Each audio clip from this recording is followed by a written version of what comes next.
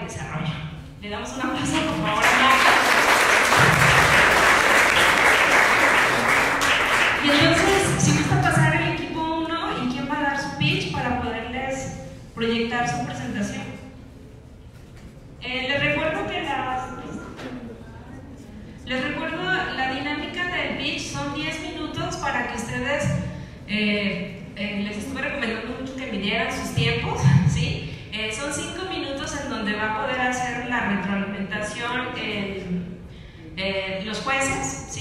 O las preguntas y a los 5 a los pasados los 5 minutos se les va a indicar que ya llevan 5 minutos, ¿sí? Después que llevan 8 minutos y al final que finalicen para que después pase el turno de los jueces y puedan este, eh, hacerles la retroalimentación o las preguntas necesarias. ¿sí? Entonces, pasa el equipo 1,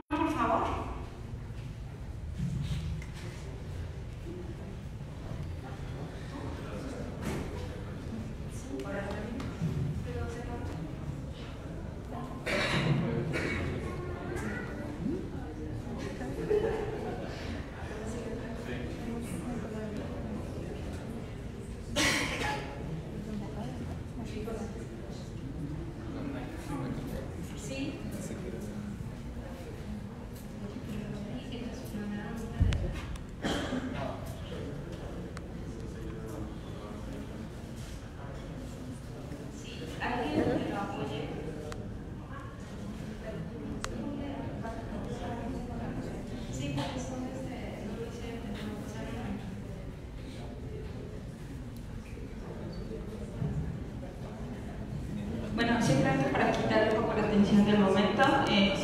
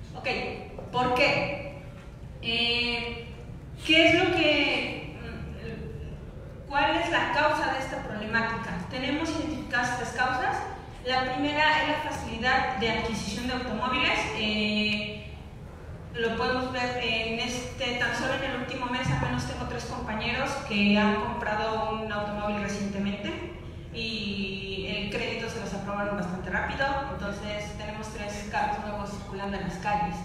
Eh, la siguiente, la falta de políticas eh, enfocadas a atacar el problema, eh, no se han actualizado, entonces siguen exactamente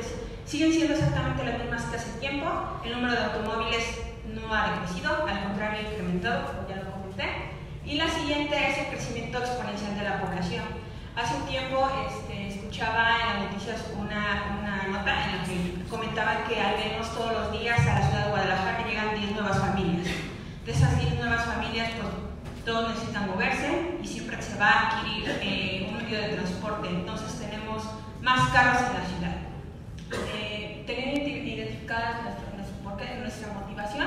Este, siguiente, por favor. Bien. Ya sabemos que lo que queremos hacer es eh, obtener trayectorias, trayectorias eficientes, pero ¿cómo lo vamos a hacer? Eh, lo, la idea inicial que se propuso para atacar esta problemática fue dividida en dos modelos. Nuestro primer modelo eh, consiste en la construcción de un modelo, valga la redundancia, de predicción de congestionamiento vial dado un punto de tiempo. En la segunda parte de este proyecto es un modelo para la planificación de rutas. Porque en la primera parte, ok, ya sé que a tal hora, en tales puntos, voy a tener congestionamiento vial. ¿Y eso de qué me sirve? Es en donde pasamos a la segunda fase. En base a esto, planifico una ruta que evite estos puntos. Bien. Ahora, ¿cuál es la novedad de esto? Todo el mundo se preguntará, ¿tenemos Waze? ¿Tenemos Google Maps? Sí, pero eh, estas herramientas se basan en contribuciones de usuarios. Entonces, en algunos puntos en los que hay poca contribución por parte de los usuarios, no se obtiene información, no se tiene información suficiente para poder planificar una ruta óptima. Ha pasado en la que, ok, aquí se ve la ruta, una ruta aceptable, voy a, se decide tomar la ruta, o tomar, eh, sí, tomar esa ruta y resulta que hay tráfico. O sea, digo, que incluso está peor que la otra zona en la que me decía que no me fuera, precisamente por eso, porque nos falta la contribución de los usuarios. Nuestro modelo evita que exista esa contribución de usuarios porque se basa en la construcción de predicciones mediante históricos. Es decir, ya sé que los lunes en tal punto, a tal hora, va, a haber tráfico. O por tal evento hay tráfico. Ok, este, para el siguiente no voy a necesitar tener nada de información de este día. Voy a poder predecir que por las características que hay entre el día, la hora, eh, el evento que hay, eh, va a haber cierta, cierto porcentaje de congestión vial. Ese es eh, nuestra principal característica o es lo que nos hace diferentes a las otras herramientas ya existentes.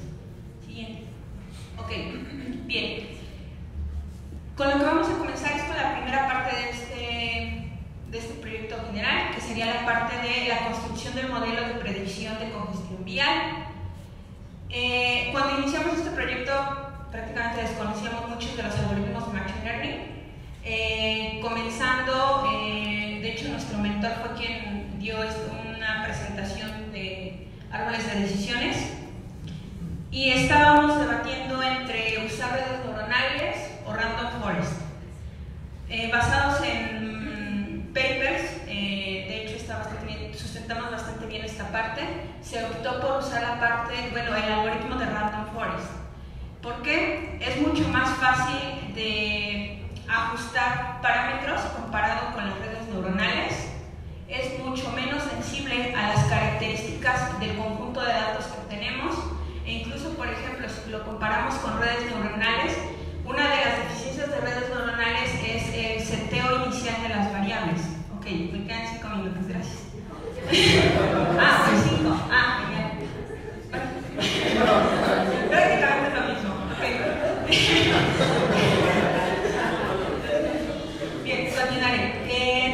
esas son las principales, eh, las principales características por las que decidimos optar por un random forest, la facilidad que tenemos para setear las variables de este modelo, además además de que eh, no tiene sensibilidad ante las características de nuestro conjunto de datos. Eh, tiene la capacidad de poder tomar, darle mayor relevancia a aquellas características que son importantes para nuestra predicción y descartar o darle menos pesos a aquellas que no. Actualmente, ¿en dónde estamos? Eh, como se los comentaba, la propuesta de nuestro proyecto abarca dos modelos. Actualmente eh, se tiene el modelo de predicción listo, es en la parte en la que, con la que estamos concluyendo, pero por problemas de tiempo, problemas técnicos, eh, capacidad de cómputo, no nos fue posible pasar a la siguiente etapa que era la planificación de rutas en sí, que realmente es como la parte en la que estaríamos trabajando aún futuro medio cercano, que sería la conexión eh, de estos... Eh, ok, medio cercano trabajaríamos en pulir el segundo modelo, que va a ser la planificación de trayectorias, y a un largo plazo estaríamos trabajando en la conexión de estos dos modelos, que realmente es necesario esperar a, ya que el segundo modelo debe de ser alimentado por el primero, por la predicción de la congestión vial en los puntos. Ok, hasta ahora el punto en el que nos encontramos, eh, lo que ya tenemos, o la parte que se realizó inicialmente, fue la parte del análisis de la correlación entre variables. Eh, aquí algo que falta mencionar es que una de las principales problemáticas que tuvimos es el acceso a los datos. Eh, iniciamos con algunos datos específicos de la ciudad de Guadalajara, pero este, que es lo ideal, lo que teníamos planeado inicialmente, pero no tenemos acceso a esa información. Eh, eh, al parecer no la podíamos conseguir de modo fácil por Secretaría de Transportes y era, o lo que teníamos a la mano era necesidad, teníamos que capturarlo. Entonces teníamos dos, o nos enfocábamos a capturar la información o nos enfocábamos en entrenar nuestro modelo. Debido a esto, optamos por tomar un conjunto de un dataset de la eh, plataforma Kaggle. Ellos eh, se lanzó un concurso, ellos ya tienen un conjunto de datos preprocesado y limpio, enfocado precisamente a esto, a la planificación de rutas. Entonces nosotros eh, lo que hicimos fue tomar este conjunto de datos y pasar a trabajar nuestro modelo. A largo plazo, el ideal es enfocarlo con datos de Guadalajara y este, para poder tener datos certeros para, nuestra, bueno, para la ciudad. Eh, bien, ¿cómo se trabajó en esta parte? lo dividimos en tres fases. Inicialmente se realizó un análisis de estas variables de este conjunto de datos que tenemos. Es fácilmente adaptable al conjunto de datos de Guadalajara, entonces no hay problema. Eh, la segunda fase, eh, bueno, el problema que tenemos con con Random Forest es el seteo de estas variables. Entonces se dividió en dos partes el seteo de las variables o la construcción del modelo. La primera parte fue el uso de, de un cross-validation para determinar cuál era la variable adecuada para tomar como variable objetivo de predicción. Entonces, eh, eh, lo que hicimos fue construir una serie de tuplas basadas, uno, en, el, en los tamaños del conjunto de datos, tanto del test como de training, y dos, la variable objetivo que íbamos a usar. En total tuvimos ocho, tuvimos, no, eh, tres, seis tuplas, seis tuplas en total, y las estas a evaluarlas mediante un cross-validation para obtener cuál de estas tuplas era la que nos daba un mejor accuracy y de este modo usarlas como variables objetivo para obtener la predicción del de, de congestionamiento vial. La segunda fase, una vez que ya teníamos elegida cuál iba a ser nuestra variable objetivo cuál iba a ser el tamaño de nuestro conjunto de datos basado en el conjunto total, fue el uso del algoritmo de grid search con el objetivo de obtener los mejores valores para setear las variables de nuestro modelo. Eh, eh, la métrica que se usó eh, fue el error cuadrático medio. logramos bajarlo de un 30 a un 22%. Y bueno, por tiempo y por respeto voy a... Ok, de hecho sí, ya estamos en... Ok, siguientes pasos, hablar como ya se los comentaba y se los comenté al inicio. Nuestras siguientes fases es pulir el segundo modelo, que es el modelo de planificación de rutas, y realizar una conexión de estos dos modelos. Y muchas gracias.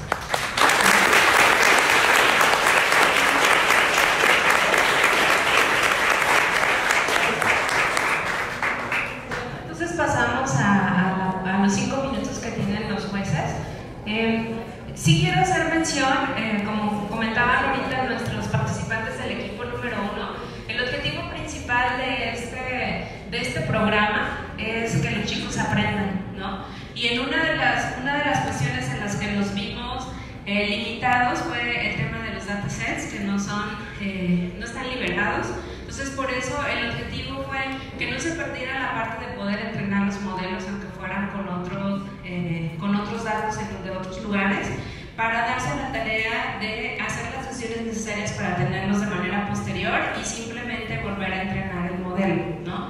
Eh, o hacer eh, lo que se llama un, este, se me fue el nombre ahorita, pero, o sea, eh, realmente se pueden volver a utilizar los, los datos y hacer un, o sea, se me fue el nombre, este, pero justamente es esa parte, ¿no? O sea, que, que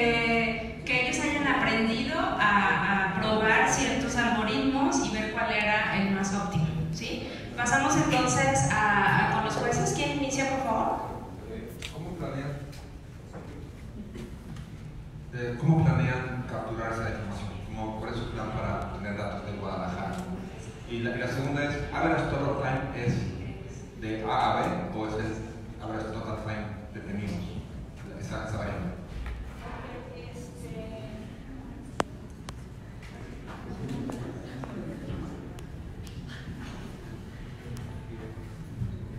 Eh, primera pregunta era, bueno, voy a tomar la del tiempo porque por lo menos la primera no la recuerdo. Eh, de, de A a B, este, lo que se hace es, lo, el objetivo va a ser minimizar el tiempo que va a tomar eh, recorrer la trayectoria. De, Tomaron tres variables, ¿no? Su, su árbol les dio tres variables. No, nos dio una. Nos dio, este, sí, nos da una variable por cada punto, que es el congestionamiento que va a haber en ese punto. Entonces, lo que vamos a querer hacer es tomar aquellos puntos que tengan un congestionamiento mínimo.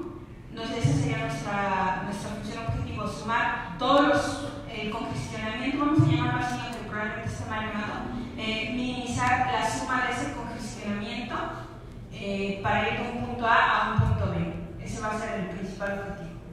Entonces, al minimizar el congestionamiento, lo que estamos haciendo, que sería el, el- el otro objetivo, minimizar el tiempo en el que se va a recorrer esa trayectoria. O sea, no vamos a tener una trayectoria definida como tal, la trayectoria se va a planificar en base a minimizar el tiempo que se gasta en ir de un punto A a un punto B. Entonces.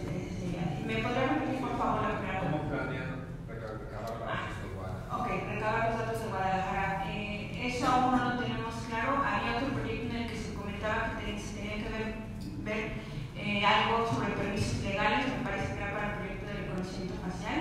Sería cuestión con verlo con expertos en el ámbito legal o personas que tengan algún conocimiento en cómo acceder a los datos de Secretaría de Transporte. Eh, realmente eh, nuestro equipo era, era un poco más técnico, da- eh, sesgado a computación. Entonces sería cuestión de asesorarnos con las personas indicadas. En este momento no tenemos la respuesta y estaría emitiendo si daría si hubiera alguna. Sí. ¿Consideran que hay suficientes puntos de congestionamiento mínimo para realmente crear un impacto significativo en el tráfico? Ok, eh, probablemente no tenemos un análisis estadístico como tal, pero lo hemos observado en aquellos casos en los que se toma una ruta o en casos que hemos vivido particularmente nosotros, creo que es algo que nos faltaría, estandarizar, estandarizar ese análisis en el que diga, ok, sí, este, eh, estamos siendo mejor eh, que tal algoritmo, eh, pero sí tendríamos que tener como acceso a los algoritmos que usan Waze, o al menos un análisis más profundo en esa parte para dar algo más este, exacto. Estoy tratando no la recuerdo, pero para tener algo más exacto. Hasta el momento se tomó en cuenta esos, este, esos históricos que teníamos nosotros como personas de he tomado tal ruta y me ha tocado que está peor. Entonces es como el conocimiento que tenemos en base a. Estaría muy bien y sería mucho mejor tener un análisis estadístico en esa parte para poder eh, sustentar mejor esa, esa parte. Pero sí, como tal un análisis estadístico o comparativo contra soy mejor que tal herramienta, no hay aún. Pero pues sí entraría dentro de nuestro trabajo futuro para tener más formalizada esa parte. Sí. Sí, de hecho no no, no nos pasamos de los cinco minutos. Muchísimas gracias. ¿Ocupo uno?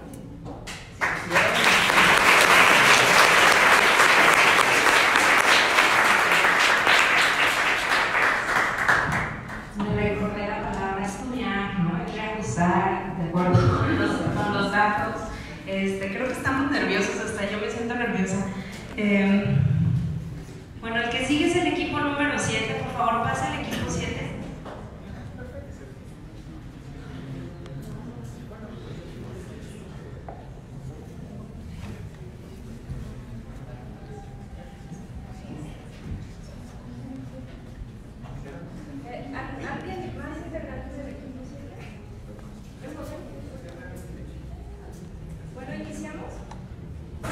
bien,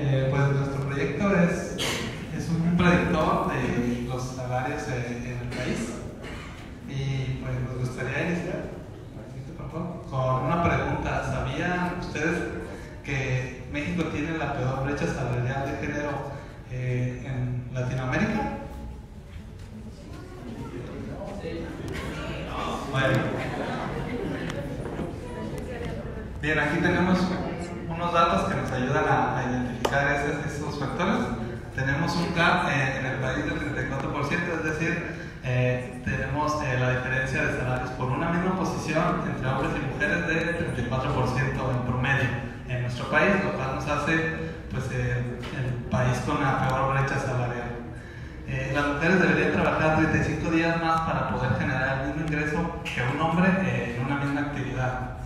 Y pues tenemos eso genera el 25% de pérdida de ingresos en el país en general per cápita. Y pues de acuerdo con estos datos se estima que se ocuparían 200 años de cómo vamos actualmente para generar la brecha salarial, disminuirla y dejarla igual en nuestro país, si no se cambia nada. Entonces, basándonos en esos datos, es que decidimos eh, generar un modelo, este modelo de, de, de, basado en inteligencia artificial para poder ayudar a que esa brecha sea menor y se disminuya más rápido. Y pues a continuación vamos a ver eh, la solución y, y, más detalles.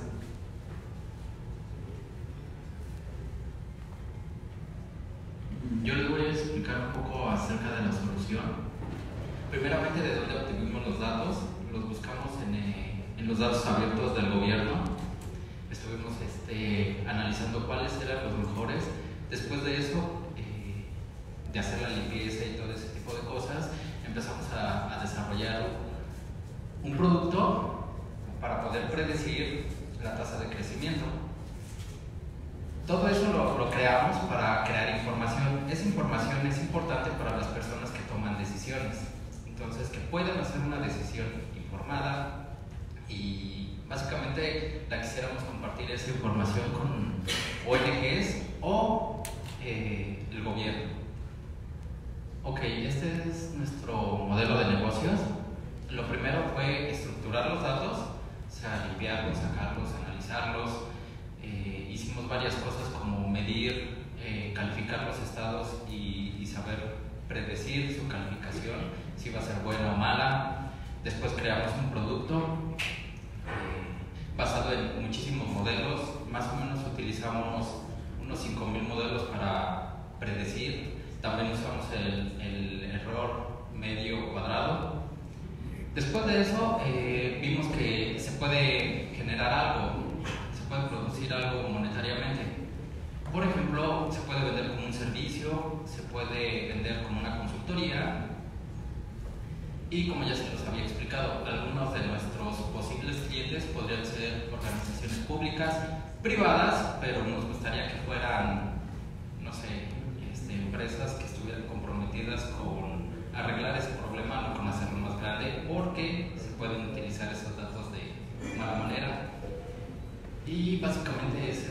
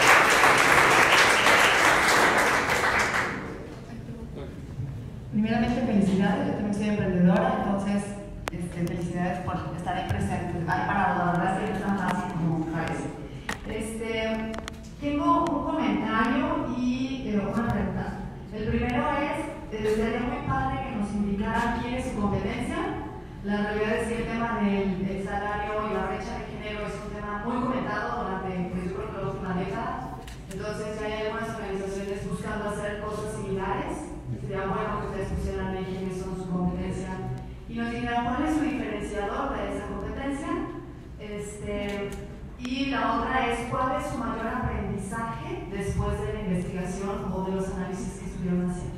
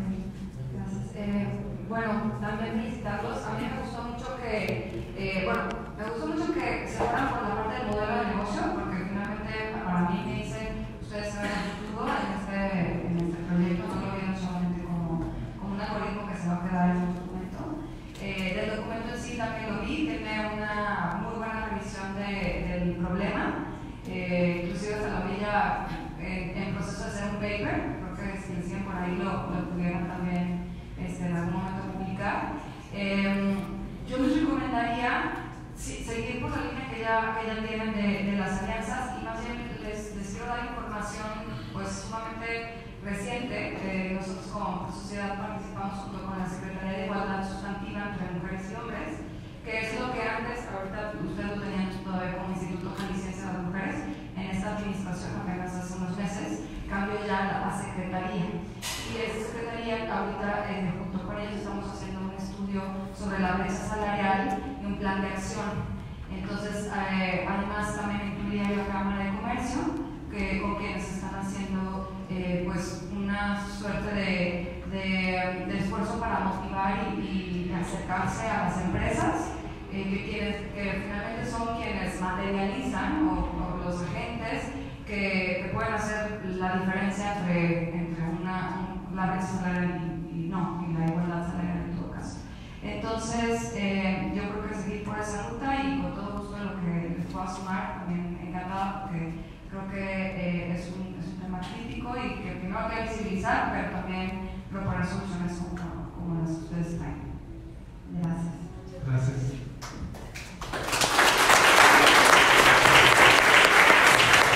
Felicidades chicos, justo a tiempo, ¿eh? Me dijiste sus cinco minutos. Vamos con el equipo número 8, por favor.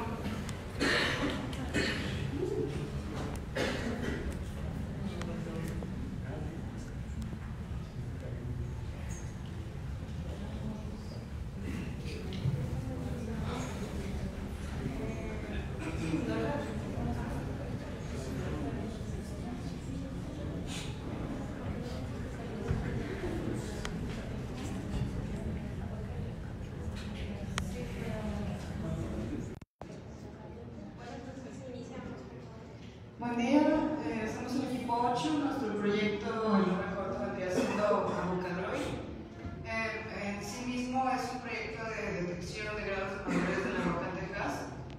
Y bueno, pues como antecedente mm, nos apoyó mucho Nayeli para poder realizar este proyecto, sobre todo en, eh, en la definición del mismo, porque todos teníamos muchas ideas distintas sobre las problemáticas que queríamos resolver. Ah, comenzamos primero queriendo definir un desarrollo en concreto sin tener muchos fundamentos, pero posteriormente eh, con mucha investigación y trabajo en equipo logramos encontrar las herramientas correctas para poder lograr un algoritmo que pudiera eh, realizar este tipo de detección. Am, quería mostrar un video este, un poco ilustrativo de lo que vendría siendo nuestro proyecto y posteriormente pasar a mis compañeros a explicar el lado técnico y el lado de la investigación.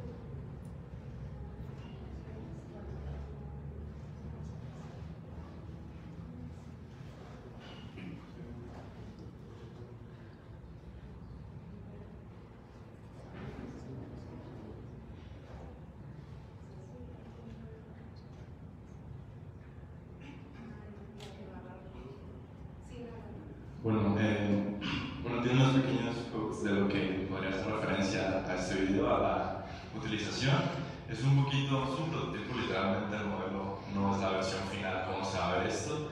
Por eso la idea de que con base en fotografías, en imágenes, podamos determinar el grado de madurez y facilitar el, el consumo oportuno. Entonces, si podemos regresar a la presentación. por favor.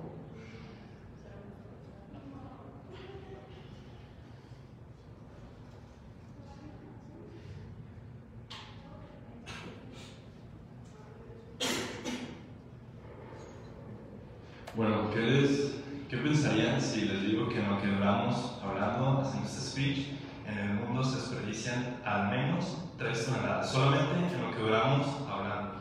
Y si esta cifra es cruda, imagínense que para el 2030 se tiene una planeación de que por minuto se desperdiciarán 6 toneladas de alimentos en todo el mundo.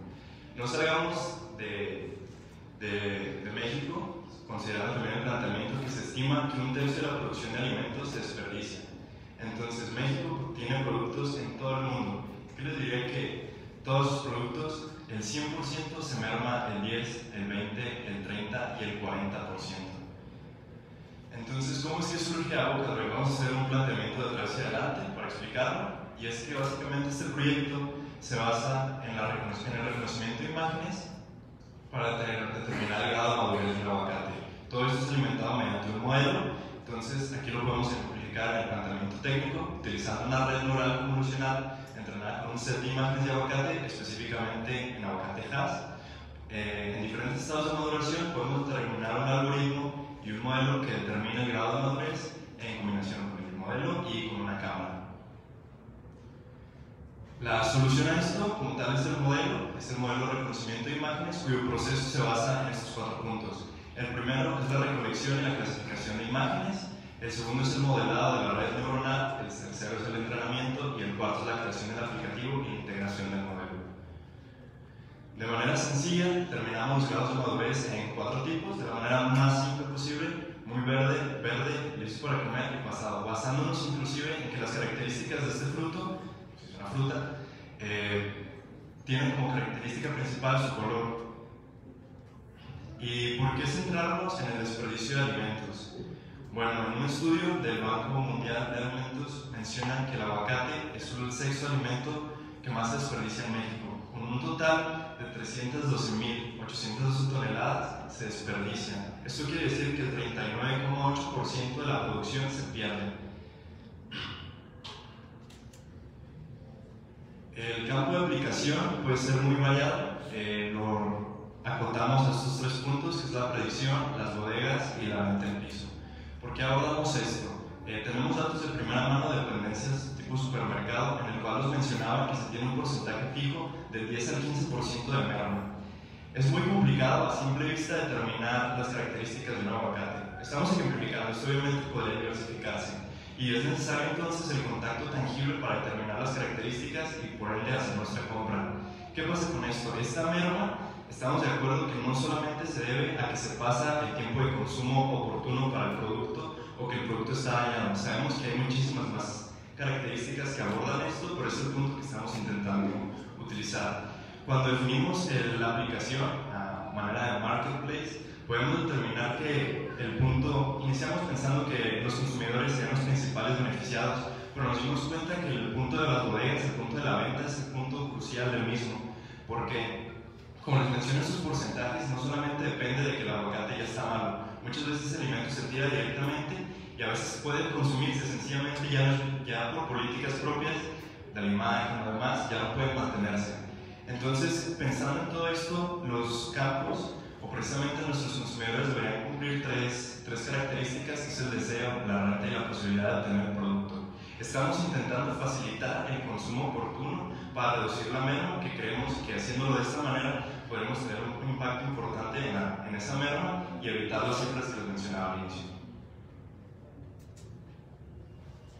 Ok, bueno, pasando a la parte ya un poco más técnica del proyecto en sí, este, bueno, empezando describiendo los herramientas que utilizamos en el proyecto, este, bueno, como generalmente se usa en el mundo de Machine Learning, el programación Python como el principal, eso fue lo que utilizamos junto con este, la plataforma y librería de de TensorFlow para el desarrollo de, de, modelos de Machine Learning.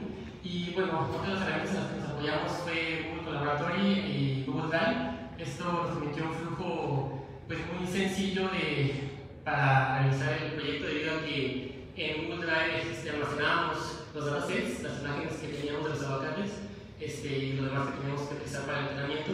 Y mediante Google Laboratory se podía acceder directamente a, a, los archivos de Google Drive de modo que pues, todos podíamos ir acumulando imágenes ahí y al algoritmo automáticamente lo sacaba de Google Drive para, para instalarlo ¿no? todo en la nube sin tener que instalar nada en nuestro, en nuestra computadora y utilizando el modelo conjunto que Google Collaboratory provee para todas las, bueno, para cualquier persona, ¿no?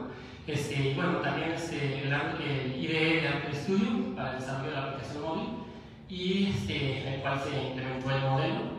Eh, y otra herramienta que utilizamos fue la de Rayos, que es Rapid Image Optimizer Tool, que es una herramienta para poder este, utilizar las imágenes, ya que como este problema de machine learning fue más basado en imágenes, no tanto en, en datos, este, en hojas de cálculo, por decirlo, sino que más bien nos fuimos por la parte de, de la identificación de imágenes, la clasificación de imágenes, que lo que vamos este, a utilizar. ¿no? Eh, bueno, aquí este, eh, hay diapositiva coincide el modelo, pero más para explicarlo, este, utilizamos una red, una, una red eh, neuronal convolucional que, este, que en el ámbito de la clasificación de imágenes es el tipo de arquitectura de redes neuronales más utilizado debido a que provee un alto grado de, de precisión y de eficiencia al momento de clasificar imágenes. Este, utilizamos un enfoque eh, llamado transfer learning, de modo que aprovechamos modelos ya preentrenados en, en, pues en un contexto ya general de identificación de objetos para tratar sobre encima de eso este, ya especificarlo y para la detección de aguacates. ¿no? Este, bueno, ya hablando un poco en cuanto a,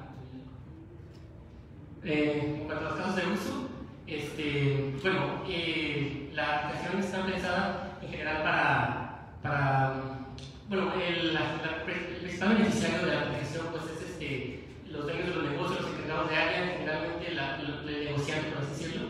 Eh, el, el, la aplicación funciona de modo que, pero bueno, la aplicación lo utiliza este, el consumidor final, de modo que el consumidor, el consumidor apuntando a, a, una, a una vacante puede bueno, saber este, el grado de madurez, es la, la, es la intención de, del proyecto como se pensó.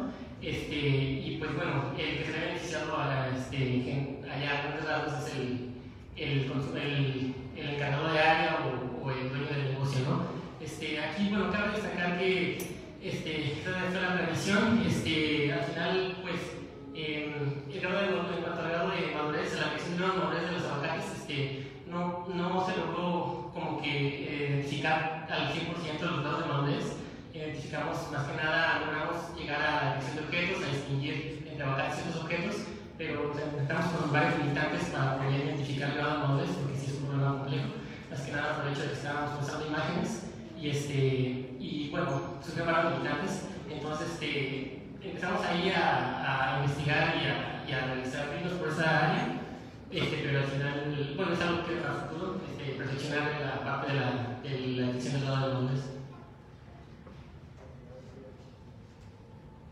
Para finalizar con nuestra exposición, eh, concluimos con que este tipo de sistemas puede ser benéfico no solamente para el caso de una aguacateja, sino para cualquier otro fruto o verdura del cual se pueda determinar un grado de madurez y esto beneficiaría eh, el consumo responsable en pequeños negocios, en grandes bodegas y hasta en casa.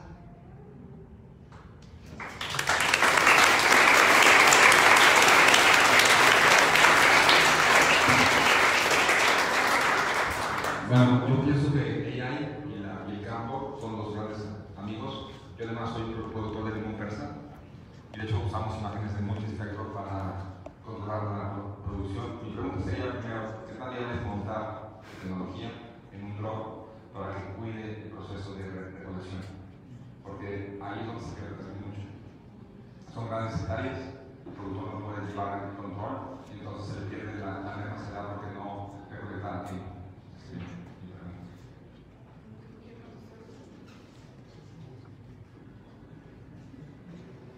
Este, bueno, eh, la tecnología podría ser aplicada a un en el futuro ya una vez que el modelo esté completamente entrenado y la clasificación de cada modelo este, de acuerdo a lo que se tiene planeado.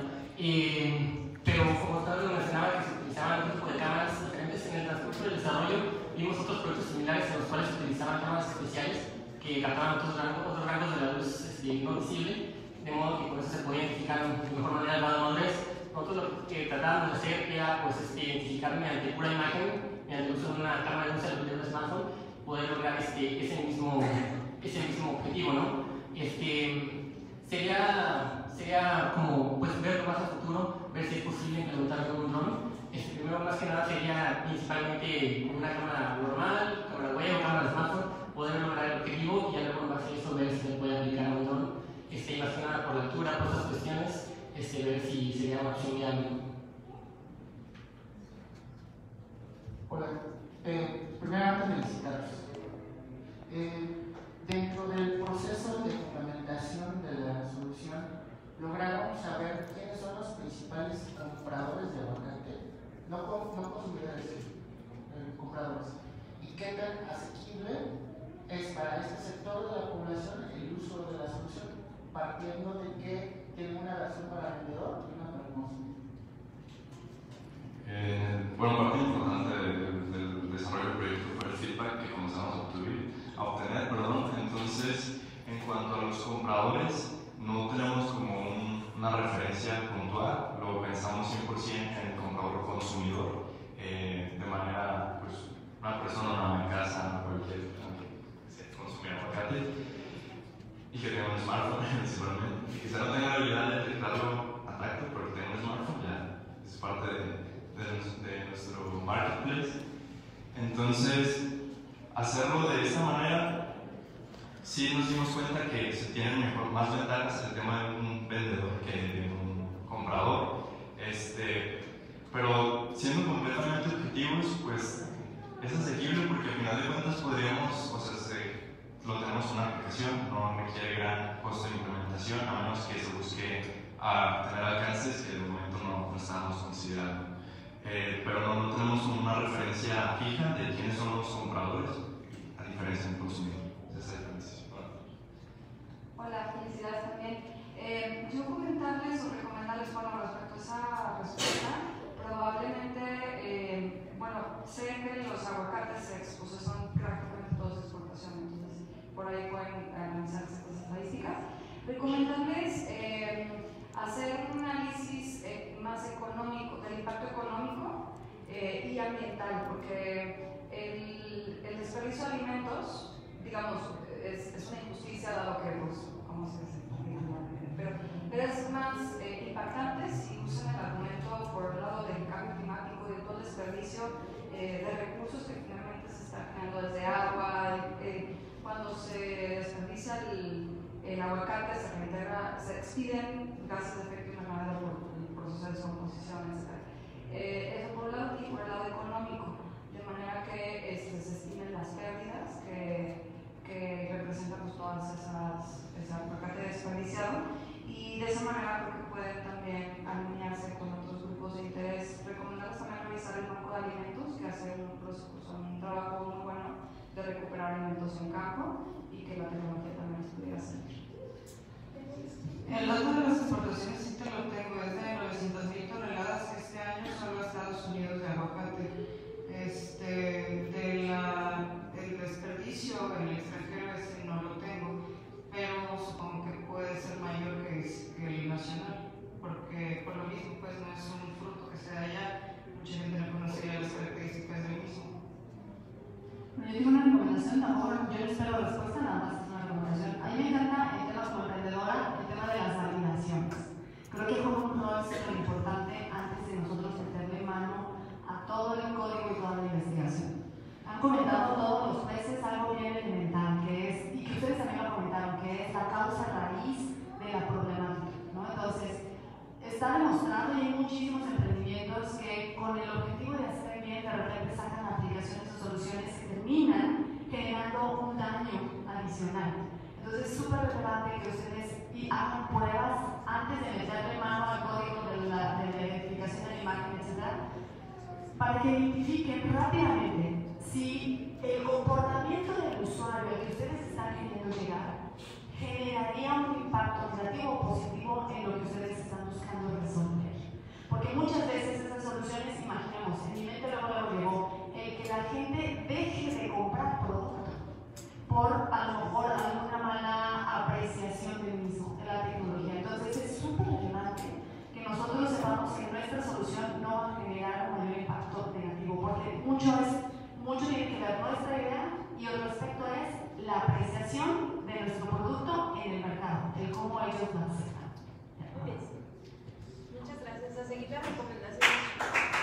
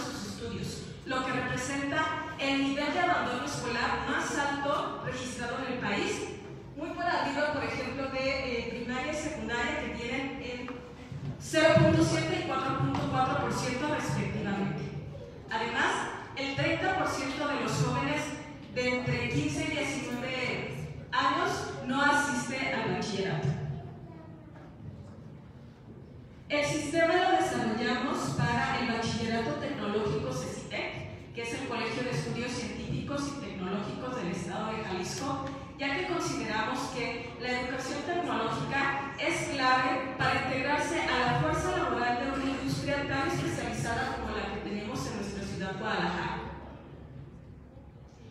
El objetivo es predecir el riesgo de abandono que tienen para generar alertas que permitan implementar protocolos de reacción de manera oportuna. Los sistemas de alerta temprana que se han desarrollado a la fecha, como portales o programas informáticos, no han sido eficientes, ya que siguen dependiendo sus procesos de la revisión cotidiana por parte del personal en las escuelas, como tutores escolares o coordinadores académicos con gran carga administrativa. La propuesta de utilización de técnicas de Machine Learning ayuda a que la detección de los estudiantes se haga de forma automatizada y adelantada, permitiendo también que el personal en las escuelas se enfoque en la parte humana, como pueden ser entrevistas con los mismos estudiantes, entrevistas con las familias, eh, gestionar becas o otro tipo de apoyos. Los, eh, datos académicos que utilizamos para el entrenamiento de nuestro sistema corresponden a los obtenidos del Sistema de Control Escolar de CECITEC de agosto del 2017 a noviembre del 2019.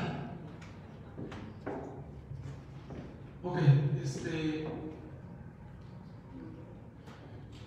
Ok, ahora ya nos explicó Sochi cuál es la problemática, cuál es el objetivo, pero ahora, ¿cómo aterrizamos eso a algo de aquí de Machine Learning?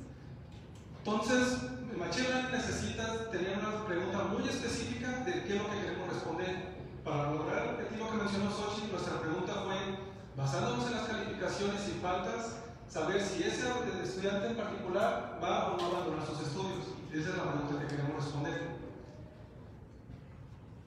Ok, ya que tuvimos los datos de CECITEC, eh, plantel de Guadalajara, este, pusimos, nos pusimos a, a, explorar los datos un poco para ver cómo estaba ese dataset, y lo cual nos dimos cuenta que pues, es algo esperado. ¿no? Las personas que abandonan son mucho, mucho menos que las que no abandonan. Y la estadística de esta escuela en particular hace, este, concuerda exactamente con, las estadísticas que nos dijo de, a nivel nacional, que es aproximadamente el 17% de los estudiantes que abandonan.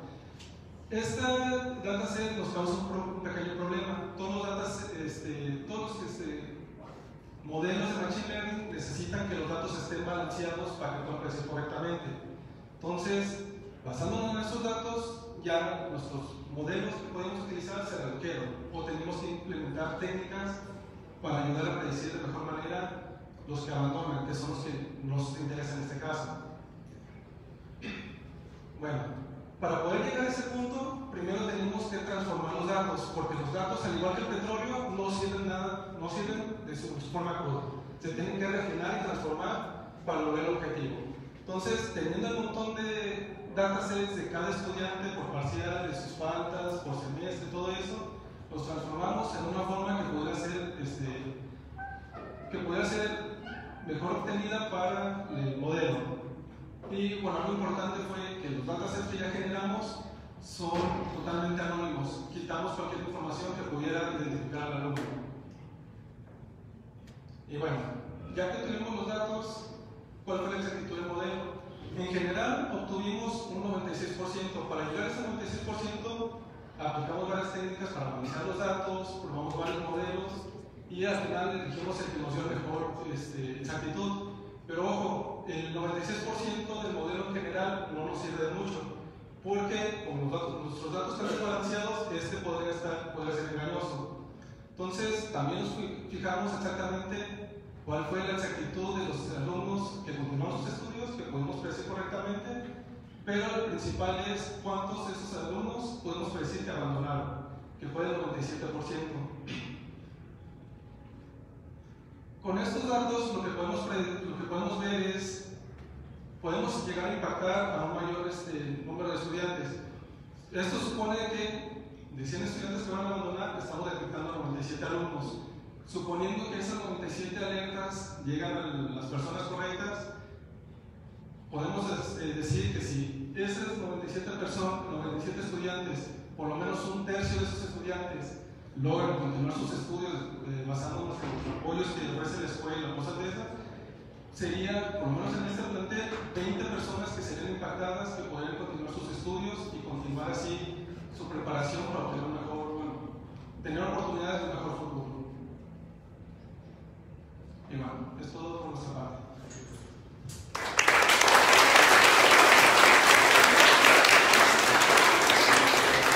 Nada más para agregar rápidamente, nuestro proyecto es, es en código abierto y puede ser encontrado en GitHub. Lo que decimos es que eh, si alguien le puede servir, lo que queremos es que lleguen este tipo de tecnologías, este tipo de técnicas a, a las escuelas.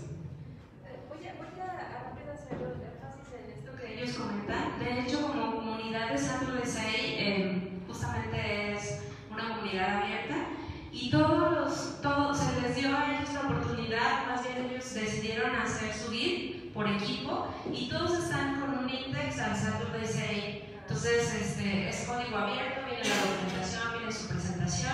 Entonces, eh, pues a reutilizar el código, ¿no? Pasamos a la sesión de recomendaciones o preguntas. También está viendo todos los datos usados. También. Yo hace unos un par de años hice un, modelo para una universidad, lo que tenía más de 15 datos. Tenía el promedio de, de prepa, este, el género, las preguntas de académica, el uso de, de biblioteca, asistencias, pagos. Este, eh, sí, eh, el problema era el siguiente. Cuando yo le, recomendaba al coordinador de, de carrera, al, al rector, ciertas medidas, ahí era donde tomar eh, problemas. ¿Qué medidas recomendaban a ustedes a, a, esta, a esta secundaria para prevenir la recesión?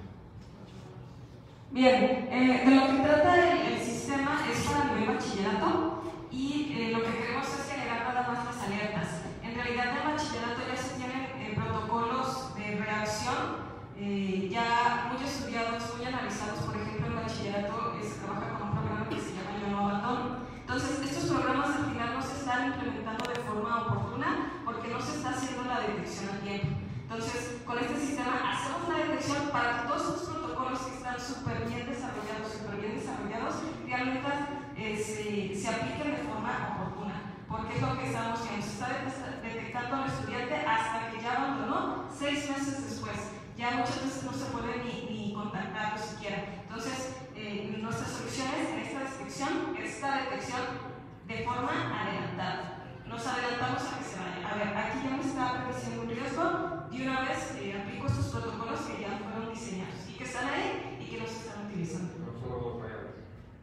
En este caso, eh, por los datos también que teníamos de, de, por parte de la escuela, también lo que queremos es que se implemente con lo que ya trabaja la escuela.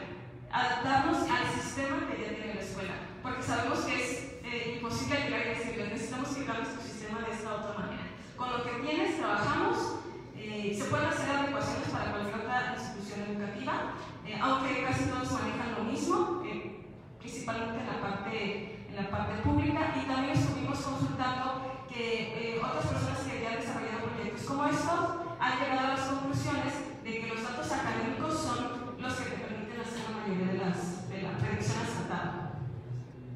Bueno, yo les voy a hacer una recomendación.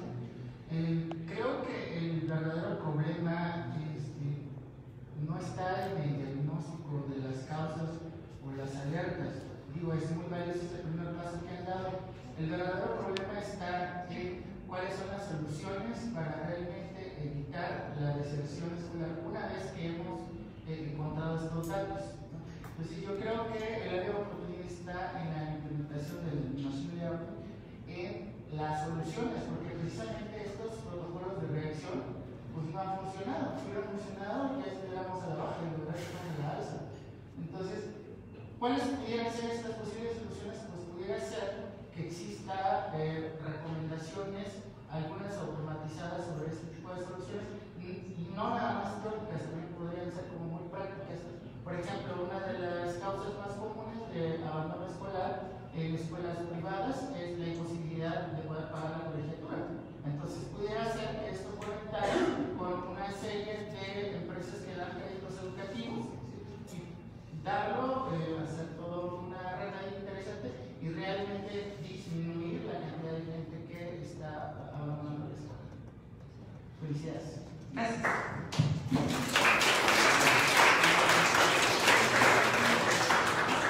¿Puedo ver el tiempo? Sí, Ok, está padrísimo el proyecto, este, todos los demás también está padrísimo, pero no lo había dicho, todos me encantan. Eh, a ver, solamente reafirmando lo que decía el tema de las causas. Eh, en- en- todo es perfectible y a mí me gustaría dejarnos con la idea de que este tipo de soluciones para predecir y para validar hipótesis es lo que se necesita en la inteligencia artificial. Entonces, ahorita los programas que existen, muchos de ellos son ineficientes porque efectivamente se están haciendo con modelos antiguos. Entonces, ustedes ustedes tienen el poder de herramienta de ayudar a todas estas escuelas a decir si sus programas realmente son oportunos, están, bueno, ya sabemos que tienen sus áreas de oportunidad, pero muchas de las cosas de ahí son perfectibles. Ustedes pueden llegar a corregir, a, a llegar realmente a la raíz del por qué los chavos están dejando este, la escuela.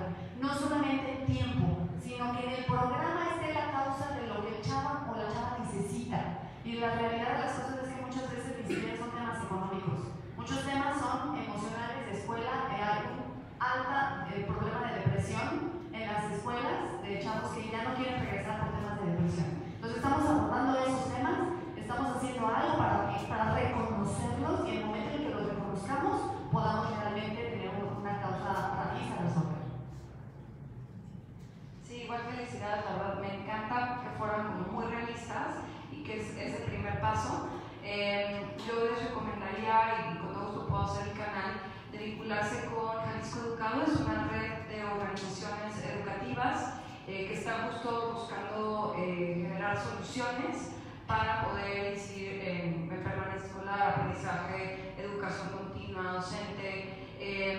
particular tienen un, una- un programa que se llama Escuelas Modelo, en donde están acompañando a dos escuelas junto con el gobierno de Zapopan en una intervención integral, este, ahora sí que transformadoras de infraestructura, educación a los alumnos, educación a los padres, y esto puede caber súper bien. Eh, entonces creo que hay mucho momentum para este tipo de, de soluciones, que si además se incluye lo que ya se mencionó. Felicidades.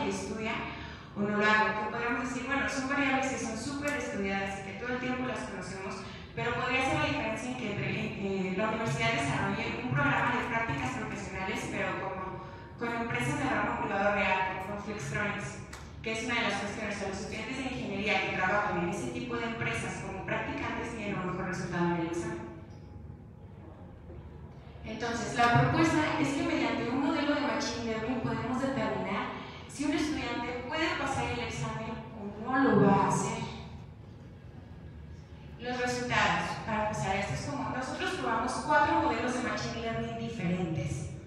¿Por qué? Porque no podemos asegurar cuál es el primero. En uno de los, de los artículos más importantes de Kitchen Documentes, publicado en el 2009, dice que no puedes utilizar un modelo de Machine Learning si no supera un modelo estadístico lineal primero.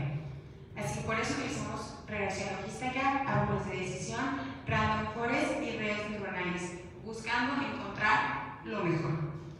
Entre los cuatro, entre los cuatro modelos probados, Random Forest perdón, fue nuestro excelente ganador. Aplicamos Random Search perdón, para encontrar cuál es la combinación de los atributos ideales para poder entrenar nuestro modelo. Podemos predecir con solo variables sociales. Solo la única variable académica del estudio es el promedio de licenciatura general. El resto son variables sociales, el 71% de los casos correctamente. El 71% lo que pasa en tu casa determina el 71% de tu desempeño académico siguiendo esto que encontramos. Entonces, las variables más importantes, porque hace muchísimas preguntas respecto a tu formación, que si te gustó la clase, si no, si el maestro iba, si no, las podemos dividir las primeras 20 en tres grandes grupos. Las variables de la universidad. La universidad, con este estudio, no tiene una formación equitativa entre un centro universitario y otro. O sea, es realmente, aunque sigan el mismo plan de estudios en UCA, ese mismo plan de estudios lamentablemente no funciona igual con los chicos de CUCIENEGA o de Cutomalá. Lamentablemente eso no está sucediendo. Las primeras variables del estudio más importantes es en los centros universitarios y obviamente el tipo de examen. Evaluar un ingeniero no es lo mismo que evaluar un administrador. Jamás lo va a ser.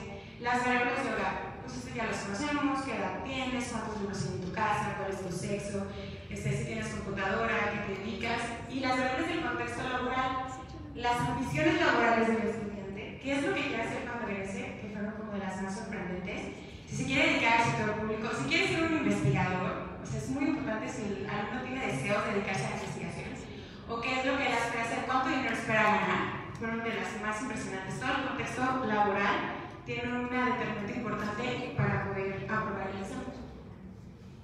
Nuestro modelo de negocios. Bueno, para empezar, nosotros decimos, bueno, ¿cómo vamos a obtener dinero de este negocio? La parte número es que podemos hacer que la universidad implemente alternativas, de hecho, copie entre centros universitarios, que es lo que está haciendo la universidad, que no hace fusionera para que sus chavos pasen. Y si realmente es esta brecha social que existe, pues que intente que los chavos de Fusionera convivan con los de UCA y se hacer con estos monos como los hackatones, que a mí se me hacen impresionantes y maravillosos, de convivencia intercarreras, que hacen a que no necesita, o sea, un ingeniero necesita un administrador, un administrador necesita un diseñador. Somos un equipo de multicarreras, no somos, o sea, tenemos una tendencia muy diferente. Lo que nosotros queremos hacer es de, bueno, esta es una historia personal, mi mejor amiga. Lo que pasa con Ceneval es que es una de las alternativas rápidas de titulación. Entonces mi mejor amiga hace poco lo iba a hacer y ella se puso muy preocupada y lo voy a pasar o no. Entonces yo vi una brecha en el mercado, que el algoritmo lo puedan usar los estudiantes como para ver, a ver, déjame ver más o menos si pasa o no pasa. Obviamente siendo los conscientes de que es una predicción y que obviamente tienen que estudiar.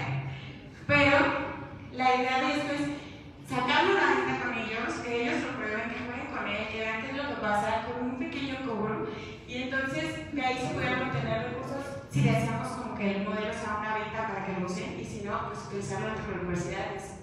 Es genial. La escalabilidad del proyecto, pues la primera parte es que identificamos las variables socioeconómicas más importantes, pues podemos hacer una predicción con el 71% de los casos correctos sobre quién va a aprobar y quién no. Y el tercer paso, que es como de los más interesantes, es el contexto académico, para que realmente poder decir si el programa de estudios es adecuado para el examen que están haciendo o no. Porque puede llegar a, ser, a pasar, por ejemplo, creo que hay una, licenciatura que existe, se llama Comunicaciones Electrónica, y hay otra que hace un examen que se llama Electrónica y Computación o Computación Electrónica. Y a lo mejor para la computación electrónica no es su examen idea y lo está haciendo mal. Y puede suceder que sea, o hay algunas cositas en el programa de estudios que hace falta que se trate como con más detenimiento, por eso no se puede alcanzar conociendo las variables económicas, de las variables académicas del estudiante. Y eso es todo por nuestra parte. Muchas gracias.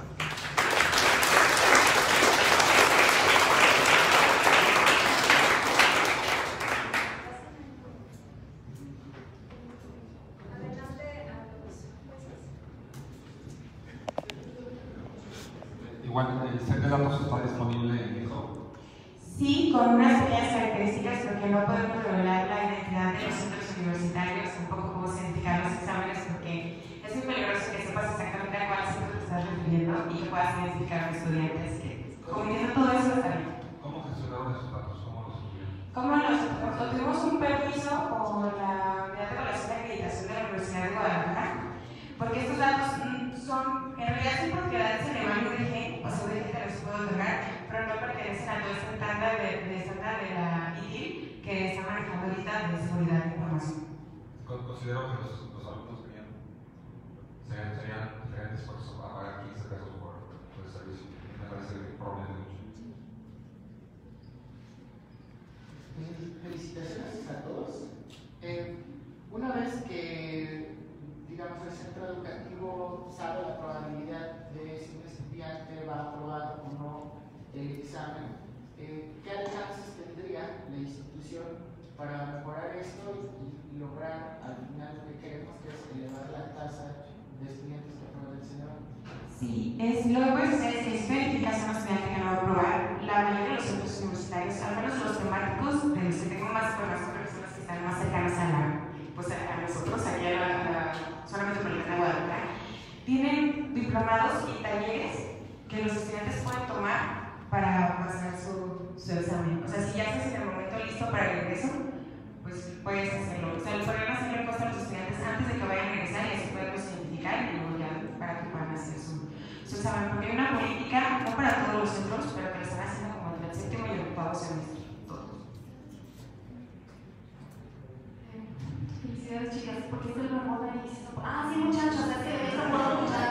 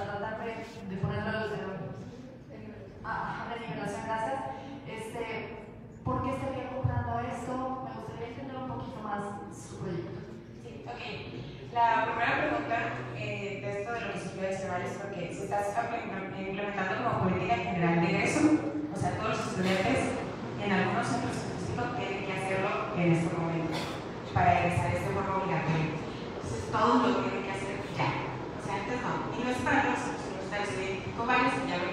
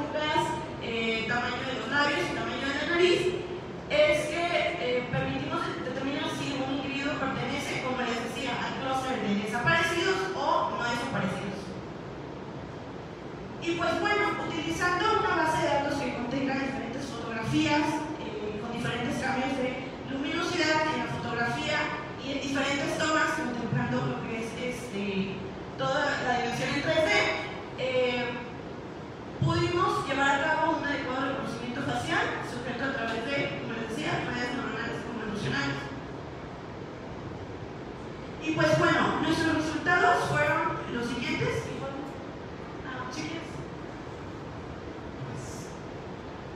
Buenas tardes.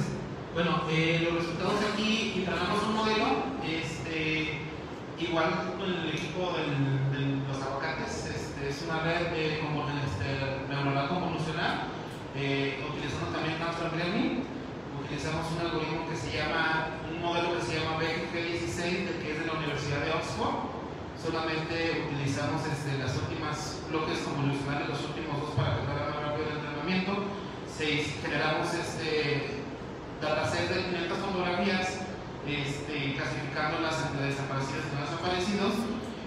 Pero bueno, tuvimos ahí ciertos detalles con, la, con los datasets. Entonces tuvimos que utilizar también una técnica que se llama eh, image augmentation para poder generar más fotografías y que nuestro algoritmo se entrenara mejor ¿no? generamos dos, modelos este, el primer modelo que generamos este, lo parametrizamos con 30 épocas y 100 pasos por época y tuvimos este, un, aquí están los dos eh, datasets eh, utilizamos para entrenamiento y utilizamos de pruebas de validación y en el primero tuvimos este, más o menos llegamos hasta el 90% de que pudiera hacer esa clasificación tuvimos ciertos problemas con, con pérdida de datos donde el algoritmo se, iba o se empezaba a equivocar y solito regresaba. Así es como funciona. Este, detectamos que después de la época 12 más o menos, un, detectamos un overfitting, un sobreentrenamiento que tenía el algoritmo, por lo que decidimos entregar otra vez otro algoritmo, pero bajando las épocas a 12. Y obtuvimos un poquito mejor resultado de, de aprendizaje, siguiendo casi lo mismo, el mismo eh, resultado del test, casi llegando al 90% de clasificación. Bueno, el, proceso para realizar este algoritmo pues, fue hacer la clasificación de los datasets para entrenamiento y para, para pruebas. Eh, se aplicó el image augmentation, se clasificaron, se etiquetaban las fotografías, este, se entrenó un modelo eh, y se fueron parametrizando para tener los resultados que ya vemos. Como siguientes pasos, ¿qué es lo que proponemos en nuestro proyecto? Para eso necesitamos eh, mejorar la calidad de las imágenes y hacer un dataset muchísimo más grande para que nuestro modelo siga eh, creando como todas estas comparaciones y tengamos, podamos tener una conclusión muchísimo mayor. también es importante mencionar que nosotros planteamos nuestro proyecto como etapas de desarrollo. En este salto 3 podemos desarrollar la primera etapa de desarrollo, que básicamente consiste en ah, definir de desaparecidos y no desaparecidos, a través de un código binario que es cero y uno. Y pues bueno, después entraríamos en todo lo que sería la geolocalización, es decir, que ya nuestro eh, programa ya va a decir en qué parte del país está, lo cual está muy padre, chido. ¿Sí? Y pues tenemos tiempo todavía. ¿sí? Me gustaría mencionar que sí, eh, este proyecto ya se está llevando a cabo en otras partes del mundo. En China ya han podido localizar a 6.000 niños que se encontraban desaparecidos. Y en Estados Unidos, por ejemplo, Ashton Kutcher eh, lanzó una asociación, se puede decir, que se llama Torrent, Digital Detection of Children, para eh, todos estos niños que sufren de abuso sexual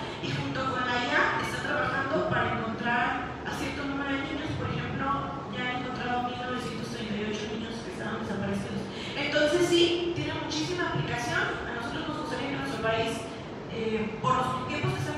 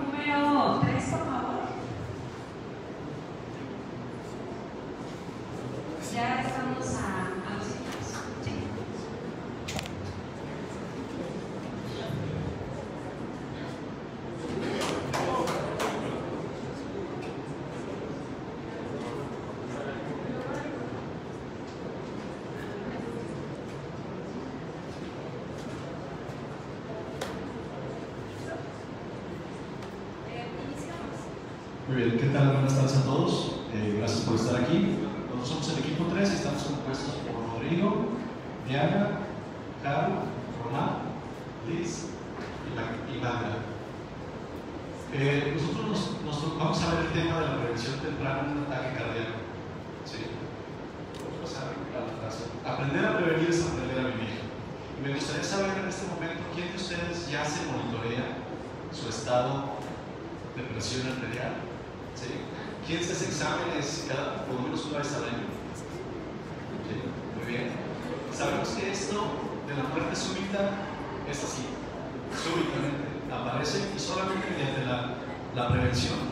podemos atacarlo.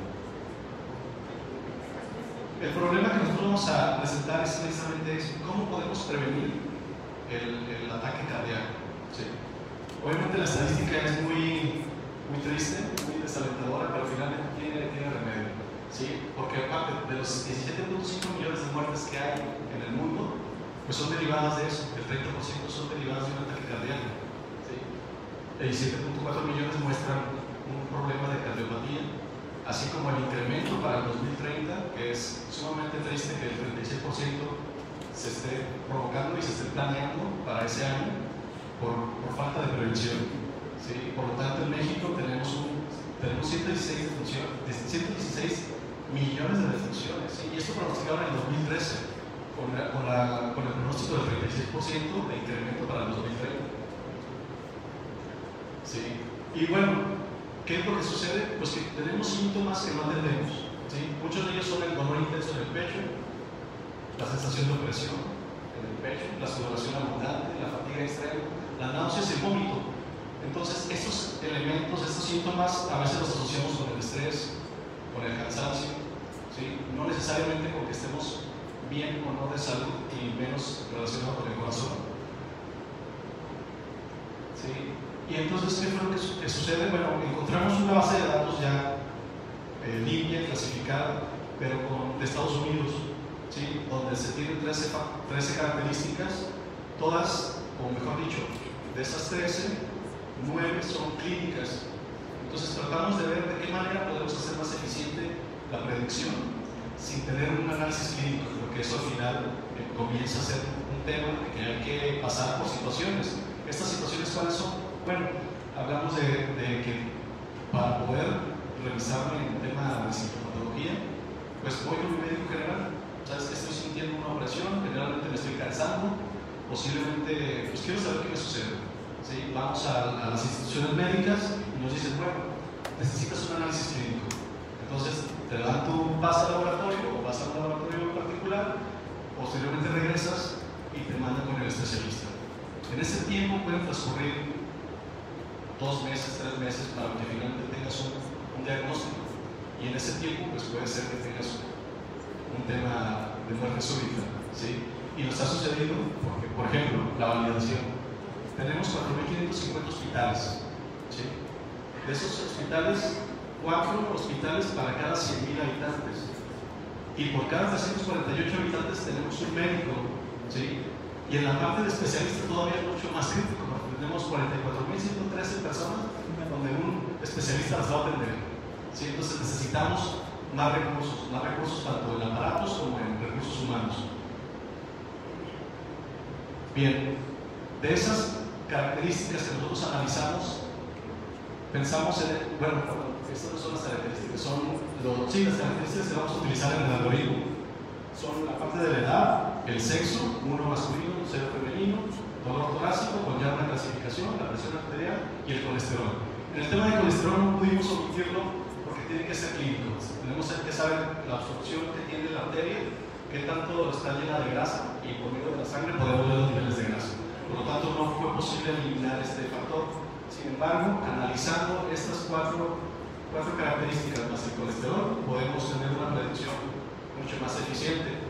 Estuvimos comparando otras, otras alternativas, otras eh, herramientas que ya existen en el mercado. Por ejemplo, tenemos Eco Amazon, Compo, eh, Google Home y Código Infarto aquí en México. ¿sí? Además de iHeart eh, Monitor, que está con una aplicación, y adicionalmente a todos los que ya traen una pulsera, un celu- una aplicación eh, para poder monitorear su respiración, su tema cardíaco y la, la atención. Eh, bien, pero esto nada más se enfoca en ciertos aspectos que no cubren la totalidad. Por ejemplo, por lo tanto, nosotros en las ventajas de este algoritmo son que solo necesitamos cuatro variables, de las cuales una sí requiere un análisis clínico, que es la del colesterol, la cual el análisis clínico del colesterol tiene un tiempo variable que puede ser de dos horas o de una hora, dependiendo si es algo urgente, por lo tanto podemos hacer una predicción de dos horas máximo, ya con los datos en una aplicación y saber si tenemos un riesgo de infarto. Obviamente, ¿qué sucede? Pues que tenemos un, un menor costo. Al, al- únicamente precisar de un examen clínico que tiene un valor de 200 pesos promedio, se reduce el costo. Tenemos un 87% de fiabilidad, un 87% de fiabilidad con- en relación a la, a validez del algoritmo y obviamente facilita a los médicos la predicción porque pueden tener este servicio, lo estamos, lo estamos validando sea un servicio web, por lo tanto puede ser consumido por cualquier dispositivo, cualquier aplicación, cualquier sistema y de manera alterna o simultánea se pueden hacer este tipo de validaciones mucho más rápidas. Bien, nuestro prototipo es un servicio web, un servicio web que también nos va a permitir generar data. ¿sí? Actualmente no tengo mucha referencia, son datos de Estados Unidos, por lo tanto hay hábitos alimenticios que no, son- no corresponden con los de México y este, además de ayudarnos a generar esos datos para, para buscar la predicción, nos permite también ir generando datos que se vayan almacenando y que, y que ya sean de México. ¿sí? Por, por ejemplo, aquí tenemos, podemos tenemos un video donde le vamos a indicar de una persona adulta de 58 años, el caso que es mujer, con una presión arterial de 145, con un dolor torácico de posiblemente una angina y un, un nivel de colesterol de 210. Aquí nos indica que su probabilidad, pues sí, el- tenemos la parte de las características y tenemos la- el target, que son posible infarto o no infarto. Entonces aquí nos muestra que ser una persona con 56 años, mujer, eh, con un dolor de angina, 145 de presión arterial y colesterol 210. ¿sí? Entonces aquí nos indica el valor que sí, puede, puede, es candidata a un infarto con una precisión del 42, tenemos 92. ¿sí? Obviamente para, generar este, esta precisión tuvimos que explorar varias herramientas, también por el tiempo. No nos dio mucho hacerlo de manera manual, pero utilizamos eh, Data IQ, que es una herramienta que nos permite ver diferentes algoritmos y ver su, su performance. También utilizamos Watson para, de IBM para poder también analizar. Y vimos que al final, con una simple eh, clasificación binaria, pudimos lograr este, este valor más preciso. Aquí tenemos el prototipo que lo desarrollamos en Python. Es nada más para, para ejemplificarlo, también está puesto en el kit. Y bueno, simplemente es para ver cómo, cómo se ejecuta. Hacemos el cambio de valores, lo cual estamos previendo que los aparatos que ya existen actualmente ya puedan tener nuestros datos de edad, de sexo, y simplemente actualicemos con la presión arterial. Si un aparato ya tiene presión arterial y está detectando eh, una alerta, se genera una alerta basados en los niveles históricos que se están utilizando, es posible invocar al, al, al, al prototipo, al web service, y pasar únicamente el valor clínico del colesterol. Entonces ya con eso nos va a traer la, predicción más, más precisa. Vamos a la, siguiente. Y bueno, las conclusiones finales, bueno, tenemos el método, tradicional, donde tenemos necesidad de ir a un médico general para, para que nos, nos indique qué tipo de estudios necesitamos, después regresar con él para dar la valoración y en ese tiempo pues pueden transcurrir hasta tres meses. Los métodos nuevos como Eco Amazon, Comport, Google Home, que consideran la respiración, si es un aparato que se coloca en un buró o algo así, cerca de la respiración para que históricamente vayan manteniendo esos registros. Código de infarto es un protocolo de atención de urgencias, donde ya la persona ya va preinfartada y si logra llegar, pues lo tiene, ¿sí? pero puede que caiga en ese momento. Pero es lo que está haciendo ahorita los esfuerzos y nosotros en el equipo lo que proponemos es el Machine Learning, utilizarlo para con, con un promedio de respuesta de 3 horas, que ya vimos que puede ser 2 horas, dándonos un, un, diagnóstico más eficiente de la probabilidad de tener un infarto. Y bueno, esto por el poco tiempo, pues bueno, planeamos unos siguientes pasos donde es agregar el factor tiempo. Además de, de decir, tienes probabilidad de un infarto, pero ¿qué tanto tiempo tienes para, para la respuesta? ¿Sí? O sea, estoy hoy tengo 20 días, tengo 2 horas, ¿Cuánto tiempo tengo? ¿Sí? Eso está bien interesante. Entonces, tratamos también de prescindir del colesterol, porque es un valor que necesita un análisis clínico, pero también podemos considerar los hábitos alimenticios, ¿sí? la complexión, si fuma o no fuma. Entonces, y la aplicación pues, puede ser un servicio que se consume y se puede monetizar de esta manera. Eh, Podemos pasar a la última, porque ya se nos terminó el tiempo. Y bueno, lo que nosotros recomendamos es hacernos los exámenes médicos y la cultura de la prevención. ¿sí? Al final, eh, todos creemos en Dios, pero finalmente muestren los datos. Gracias.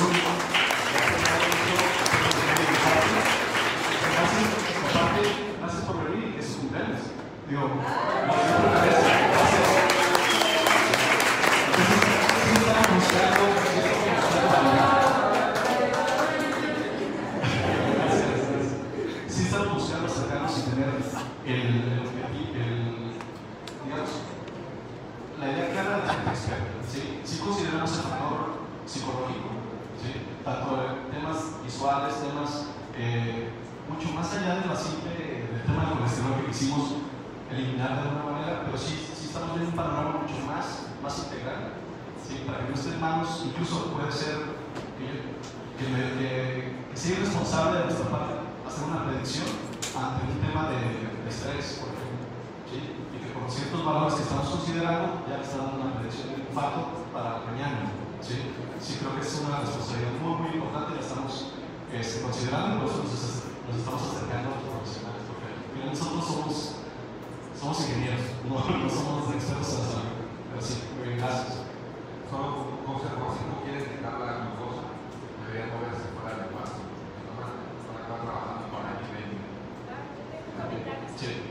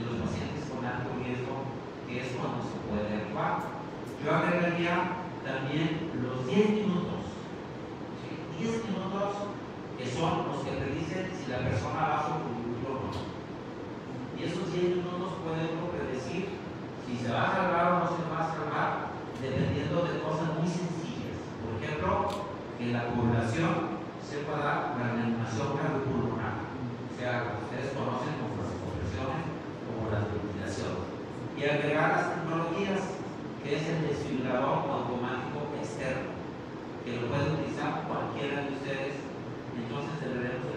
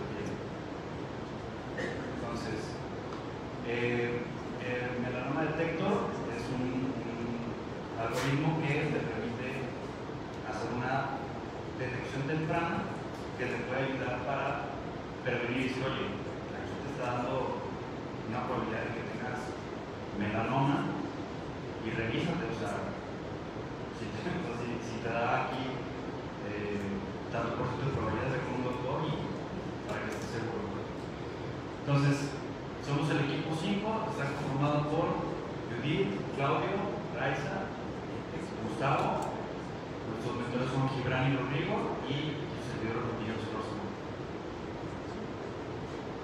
Bien, Antes de platicar un melanoma, yo creo que tenemos que tener una pequeña conversación, no, para no aburrirlos, pero en sí, eh, el- lo que es las células eh, de la piel, hay una célula que es la que nos protege de los rayos UV, que son los mel- mel- melanocitos.